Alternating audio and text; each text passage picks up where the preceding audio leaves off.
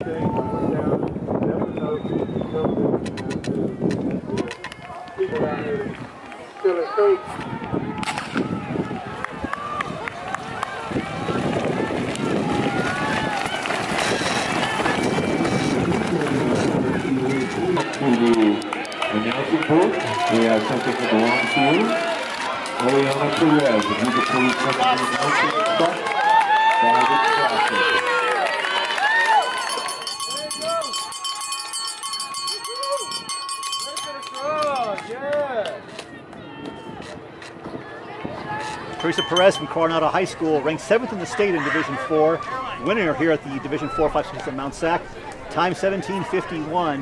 Uh, first off, how well do you know this course? How many times have you been on it before? Um, I've only raced this course my freshman and sophomore years. I'm Okay. okay. now, so this is my last, my third time racing. Yeah. course is essentially the same, face Yeah. is a bit different. Yeah. How did the course run today? Was it any different as far as dust and all from past, or no? It was pretty much the same, like usual as it was last year.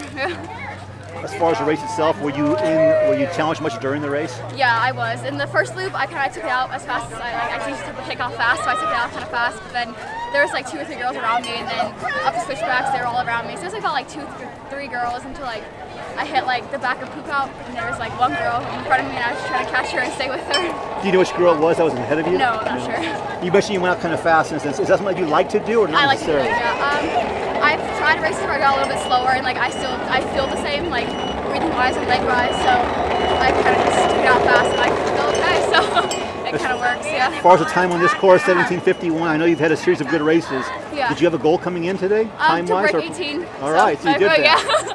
How about for the how about for the season? What's the big goal for the season for you and for the team? Season for state, my team to place top three at state, so that'd be really sweet. And then for my time, just to get as down as far as I can.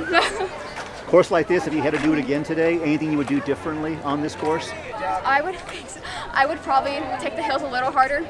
I kind of conserved a little on like a couple. I know switchback I conserved a little, on poop I conserved a little, and like I usually I race the top and the downhills. But I if I race the hills a little more, I could get a little faster time. Do you consider yourself more of a hill runner? I like hills, yeah. I love hills. Now, Coronado High School, you're on the Yeah, island over yeah, in San Diego. no- That's what I thought. So, Yeah. uh, how'd you how'd you get used to running those Um, hills? I train at Belleville Park. There's a bunch Gotcha. of hills over there, so I Okay. run up and down them over and over. again. Okay, race winner 1751, broke 18 minutes. Congratulations. Thank you so much.